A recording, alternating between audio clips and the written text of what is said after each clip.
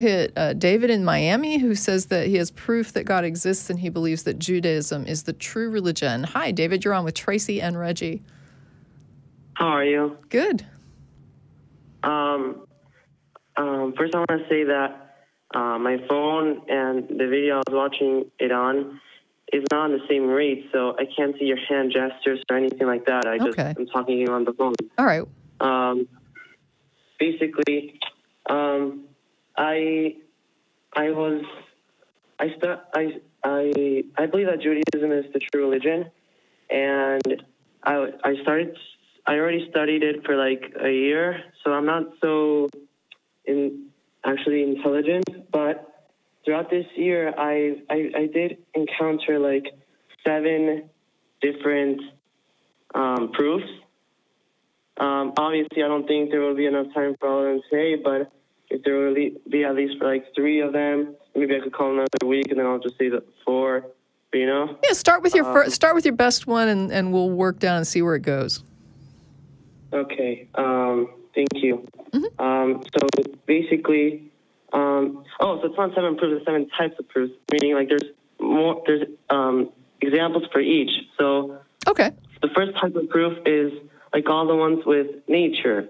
So basically, in uh, I'll give you an example. So in the Torah, it says that um, that for um, so you know how there's like over two million different kinds of land animals, and I mean there's a lot of different kinds of animals that live on land, and it says that in order for um, animal for animals um, that live on land for it to be kosher for you to eat, it needs to have split hooves and it must its cud, like vomit and swallow it again, um, which some animals do that. And basically, it says that there's going to only be four animals that will exist that will have only one of the two signs. It will either have split hooves or chew the cud, and that will be like the pig, the hare, um, the rabbit, and uh, the camel, I think.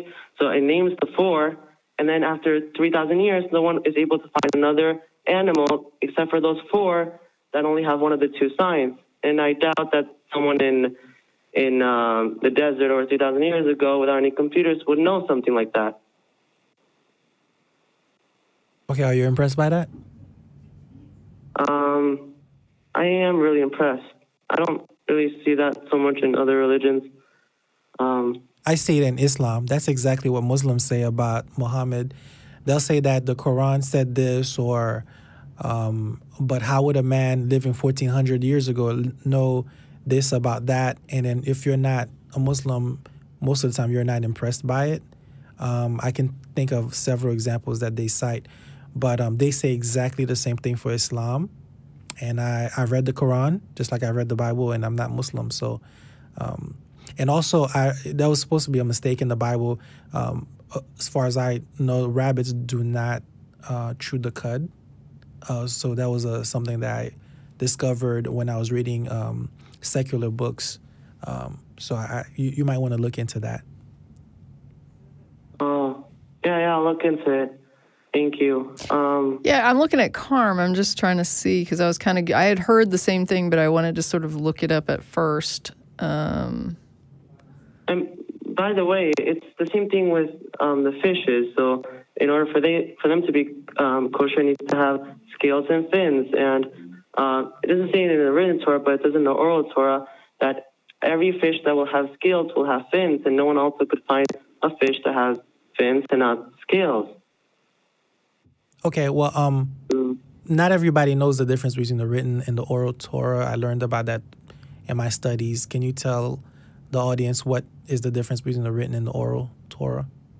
So basically, the written Torah is the famous Old Testament that everyone knows, and that and it names 613 commandments. But you're not going to be able to know how to do any of the 613 commandments that are on there. It's just to to um, keep this the seventh day. But like you're not going to really know how to do any of the technicalities or anything like that. So it it um, so uh, um, God taught the Jewish people, and they um, and they uh, and and how to do all of the 613 commandments. And then after uh, many, many years, um, the Jewish people started forgetting them, so they started writing them, and now we have it, and it's called the Talmud. It's it's it's the Gemara and Mishnah, and basically there it has uh, the explanations of how to do the 613, which is not so famous.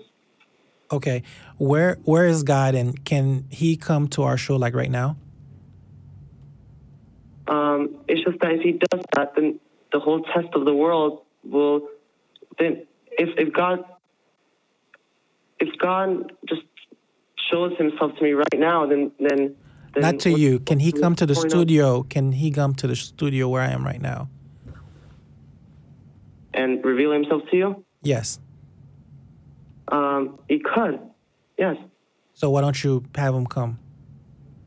um, because then the the whole test of then there won't be no test. Okay, wait a minute, wait a minute. What test? Because God should God revealed himself to people all the time in the Old Testament. Yeah, God showed. So his, there is no the test of faith is like a, a Christian thing. When you're talking about God um, and faith in God, it, it had nothing to do with faith in the belief that God existed in the Old Testament. Faith in God meant that you you thought that He was faithful to His word, right? So the question of God existing was not a question in the Old Testament because He actually went and had dinner, I think, with Abraham, and He showed His back parts to like was it Moses, Moses, or Moses, uh-huh. so God revealed himself to people, you know, flagrantly in the Old Testament. He he showed up just like a person at dinner. So my question would be, what test are you talking about? Because faith in God in the Old Testament had nothing to do with people not knowing whether or not God existed because he revealed himself directly. Uh, yeah, um, that's a good point. Um, yeah, so I guess that doesn't make the difference, but um, I could give you some more evidences. Well, I, I only ask that because I've, for me, the the best evidence is to show up. Like if if Tracie and everybody who does this show and everything have been talking about some magical guy or somebody named Reggie forever, and I've had the opportunity to show up, and then now you can see me live, you can talk to me live. I think that's the best thing anybody can ask for, especially for someone that's supposed to be everywhere at, at the same time and has all this ability and power. So I don't think it's too much to ask to have him show up right now, and in that way you don't have to present seven proofs or anything. We'll have the person in question. We can talk directly to. Yeah, when there was a question, I've, I was looking it up to see.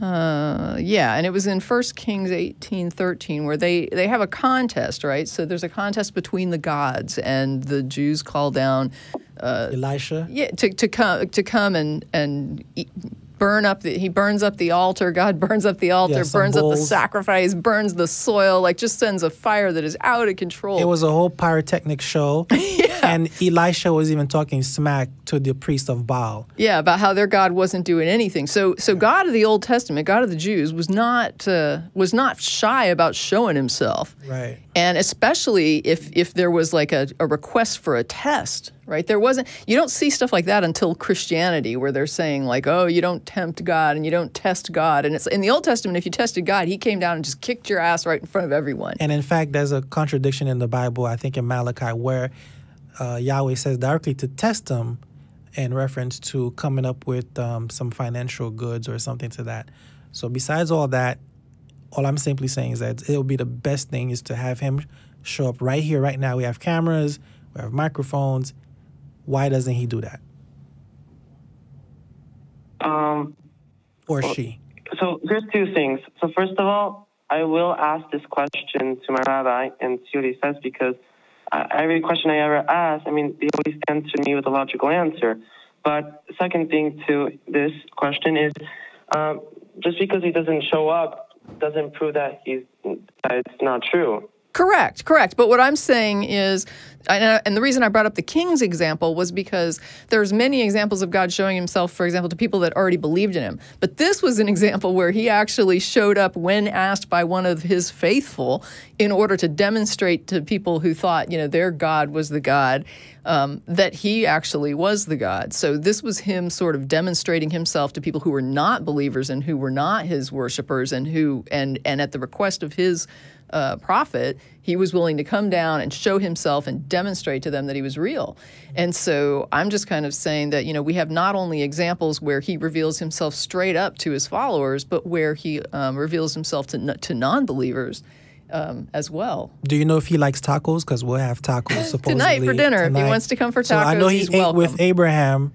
Um, so I don't know if it's kosher stuff and all that, but we'll try to accommodate him as best as we can. Now, to be fair, he invited himself to dinner with Abraham, so I don't know if he accepts invitations. Okay, so um, But but when we'll- it's, but when the door is open and God is welcome. yeah, we'll work around the dietary pieces. So, and notice that you have to ask your rabbi and not ask your uh, Yahweh directly. I think that should be a clue right there, personally. But also, we can't have fire. We have restrictions, Okay. so he'd have to eat out in the parking lot. if yeah, but we could work around there was that. gonna be- but I mean, we're just kind of being lighthearted about it. Please don't feel like we're you know making fun of you or anything like that. We're just having a little bit of No, fun no, here. Of course, of course. of course. And so let's see. Um, Oh, what about um, if I were to tell you that um, last week we went to China together and we had a great time, and then we went to Hawaii and we surfed, and we just five minutes ago we just ran two miles together. Um, you would probably say I'm crazy. Uh, that that did not happen, and I'm I'm I'm, I'm, I'm assuming that if a, a guy just comes to a whole nation and says, by the way, you guys were just in Egypt, enslaved. You guys saw the ten plagues, and then you saw the ocean split. And wait, wait, wait. What? Okay, wait, wait, wait. I want to hold up because the the whole Egypt Pharaoh story thing, I'm not sure is is valid. I mean, that's No, a no, that's a so myth. It's not valid. So let's say it's not. So let's so let's say it's not true. So a, guy comes to all these people because he wants to show, he wants to give this book and start this religion, and basically he, he says, "You guys, all you guys, because the book says that the book is given to these people. So, um, so these, so he says, "Hey guys, so, so you guys saw the ocean split. Um, your clothes are growing with you. Uh, you're getting food from the sky, and you don't even have to go to the bathroom with it. Sure. All these things, all of these things. Don't you think that all these people, this whole nation, will just say, um, "Please get out of here. You're crazy." Um, Right, they- but these are stories. Like like that that didn't happen. Right? I mean, when you go and look up archaeology, there's nothing to back up a story that should have some records and some other things that we would be able to find that would verify this. This isn't just like a, a small thing where maybe they talk about a minor miracle with Jesus where there might have been just a few people in a room that would have seen it. I mean, you're talking about millions of people traversing this desert for 40 years, right? And breaking out of Egypt in this really, you know, very public way. And we don't have anything to demonstrate that that story's real and not a myth. And Which, exactly. right, but, but why would you say then that this is that you think that this book is true? No, no, exactly. If you come to me with that story, I'm going to answer you back with, um, "I wasn't there, and I don't." I'm not even is- saying I wasn't there. I'm saying that there should be some archaeological backup for this because it's a huge story that spanned a lot of time in areas of the world that did keep records. And they interacted then with I'll- people. Okay, then in the ocean, didn't they find, you know, how when all the Egyptians drowned because of No, if you're going to, don't bring up the chariot wheel because that's a hoax. Uh, uh, Look into the chariot wheel thing and you'll find that it's not very good evidence.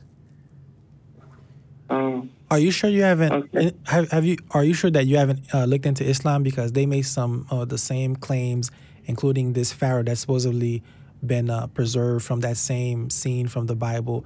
But regardless, even if all those things did happen, what's wrong with him showing up right now and having some tacos with us, with camera equipment, and just having a good old time?